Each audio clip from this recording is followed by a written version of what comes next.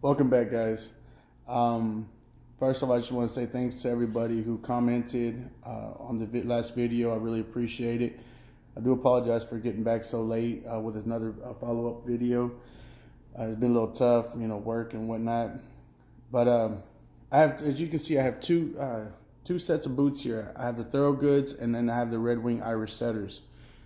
We'll be talking about the Red Wing Red Wing Irish Setters as well. But right now we're going to talk about the Thorogoods. I'll give you guys an update.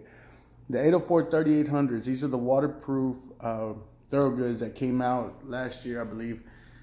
I've had them for a year now.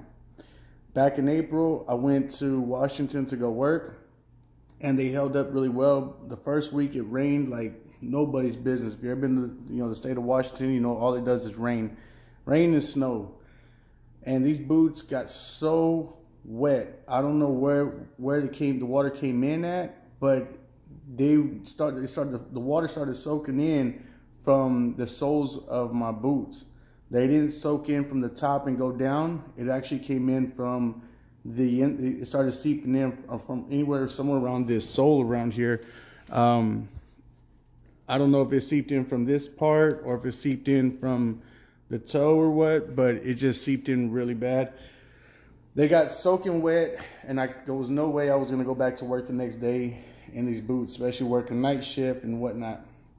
So what I did was the next day I went and I bought the Irish Setters. The only reason I bought them was because a buddy of mine was like, "Hey man, you know these are the best boots. They're real comfortable.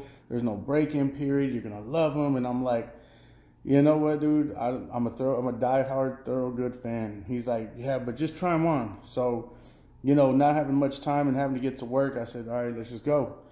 I went, I tried them on, kid you not, hands down, one of the most comfortable boot I've ever had my feet in. Um, just to revert back, guys, to the Thorogood, because that's what we're going to focus on for a little while here. So they did do their job. They stayed waterproof. Like I said, I don't know what happened. I don't know what broke apart. I don't know what exactly broke down inside of this boot to allow it to, to, to have water seeping in. Um, but they did hold up. You know, if you want a good boot that's going to last a year, these are them. Now, I'm going to tell you one thing that I really appreciate is they did something new. This sole right here is a tougher, harder sole that they made. Um, it didn't affect, the, you know, as far as the cushion or anything. But what it did do is this wear right here I don't know if you guys can tell. It's normally like right here and it, and it goes down real bad.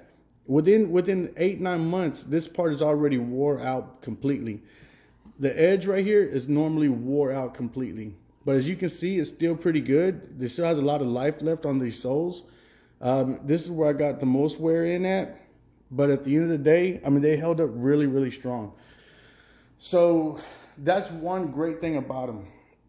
The other great thing too is just the overall fit, the comfortability of them. Uh, my feet weren't hot or nothing. Working in, in, this humid weather out here in Houston, Texas, it's not bad at all. It's really great. Um, my feet stayed uh, cool during you know during the hot days. Stayed warm during the winter. And didn't stay too warm, but they stayed a little warm. Um, I was able to put on like a pair of cotton socks and it, and it wouldn't affect you know the top part or nothing it wouldn't affect much and i still had plenty of room one thing i will say though i know i confused a lot of people whenever i told you guys that these run a little bigger I, I'm, I'm gonna hold true to that but these Irish setters, I want to buy them in the 11 and a half. These are 12, and the original ones that I had, I showed you my very first video, were 13s. I ran into a shoemaker because um, I had my other boots uh, resoled. And he told me, he said, listen, first of all, these boots are too big for you. He said, I know you got a wide foot, but you don't have to get a big boot. He told me, he said, you're going to have more back problems, more foot problems, more leg problems because of the fact of how, you know, how big these boots are. He said, you need to find something that's your size and, you know, go with that. And that's going to help you so much better. Plus, it's going to give you more dexterity you know, doing the work that you do, walking the iron and stuff like that. So I took his advice when I got the Irish setters and I went down to an 11 and a half. Now we're going to go to the Irish setters.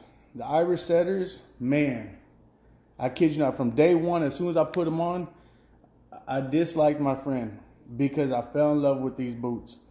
One thing that I love about them is that as soon as I put them on, those no break-in period whatsoever. They're lightweight. They're very comfortable, very cushiony, very springy. I felt like I was just walking on air, literally. It was just the greatest feeling in the world. And it's great to put on a work boot and not have to worry about a break-in period. One thing I didn't like, and it took time for me to get used to, was this part here is real bulky compared to compared to the uh, Thorogoods. These are a lot bulkier, but you get a lot more support back here too. I didn't like the laces they came with. These are crap laces, by the way. They break apart. They're no good. So he gave me some of these uh, these laces here that I liked. They're really long, so I cut them. I wrapped them around my boots, of course. Um, we'll say this if you look at the liner inside of these compared to the liner in this one, all right, so first of all, the tongue, all this is leather, okay? So this is all leather right here. This is where this is where you, your stop is. And with the Irish setters, this is part of the liner. This isn't leather at all. So this right here folds in a lot better. So you don't get that bulkiness and you don't get the bulkiness here. The other great thing about the Irish setters is you see this notch that's cut out right here. This is so whenever you have your boots on and you're bending, you don't get this bulkiness tucked inside the way you do with all these regular other boots. You see how this how this is already how it bulges out on its own like that because after wear and tear, you don't have to worry about it on these. These are really great boots. The Irish setters I recommend, I really do. Um, they are I haven't worked them in Houston yet in really humid weather to know whether or not if they're extremely hot in the inside. I will say this, working in that cold weather, working in, you know, 38 degrees, 40 degrees, 50 degrees, with the wind blowing, making it feel like the wind chill is, you know, 25 out there. I didn't, I didn't wear wool socks. You don't want to wear wool socks with these, first of all, because they're just already thick in the inside. So I wear, I wore a pair of diabetic socks a friend of mine gave me because I, being, you guys know, being on the road, having to do laundry and stuff, and sometimes you just got to get up and go. You oversleep. So I put on a pair of thin diabetic socks, and uh, my feet stayed so warm still. So I'm kind of iffy on trying to figure out whether or not these are going to stay, you know, they're going to keep my feet sweating real, real bad during this heat, or if it's just, uh, you know, um, if it's going to be all right. I'm not sure yet. I will recommend one thing. I would definitely wear a thinner sock whenever I'm wearing these boots. Um, so that way my feet can breathe a little bit better. The insulation in them is, is great and phenomenal. I mean, if you really want a really great work boot and you don't want it to break in period, you don't want to break them in or nothing, I suggest Irish setters. I also suggest getting fitted for a pair of boots uh, for the correct size so that way you don't have these issues. We rely on our feet to work for us every day. So with that being said, we got to take care of our backs, we got to take care of our legs, we got to take care of our feet, and it all starts off with the boots that we wear. Um, I know this is kind of a quick video, so if you guys have any other questions or whatever, you want me to uh, give you updates, feel free just to leave a comment. I'll definitely get back with you as soon as I can.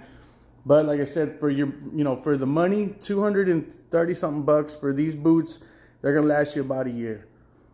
The Irish setters have a lifetime warranty on them, I believe. Plus, if you need them resoled, you can take them out there for like 80 bucks or 100 bucks, same price you're going to get these resoled for. They'll be done right through, through uh, Red Wing. I recommend these. You know, if you don't want to go with the hassle, I recommend the Red Wings. So, with that being said, I'm going to go ahead and close this video out. So, you know, I hope you guys enjoyed it. I definitely will follow up on these Red Wings later on. But as far as the uh, the uh, Thorogoods go, I mean, it's it's you know they're gonna last you they're gonna last you a year, maybe less than that.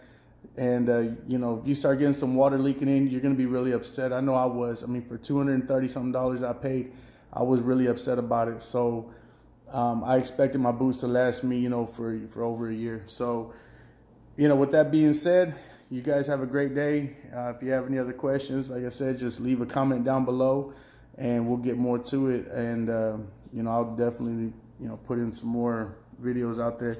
I appreciate y'all's time, man. Y'all have a good one. Stay blessed.